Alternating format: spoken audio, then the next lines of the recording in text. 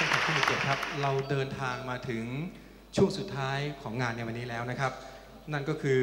episode สุดท้ายและนี่ก็คือเพลงสุดท้ายนั่นก็คือ Princess Mononoke Theme นะครับ เป็นเพลงประกอบภาพยนตร์แอนิเมชันแฟนตาซีของค่ายจิบลินะครับประเทศญี่ปุ่นคำว่าโมโนโนเกะจริง ๆ แล้วไม่ใช่ชื่อ แต่เป็นคำที่ใช้เรียกภูตผีปีศาจภาพยนตร์เรื่องนี้ แทรกแนวคิดเกี่ยวกับธรรมชาติและปรัชญาเข้าไว้ด้วยกัน เผยแพร่ในญี่ปุ่นเมื่อปี พศ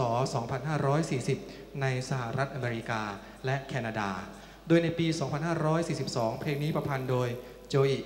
ฮาไซชิชาวญี่ปุ่นนะครับ และนี่คือเพลงสุดท้ายสำหรับวันวันนี้นะครับ Princess Mononoke Theme ครับ「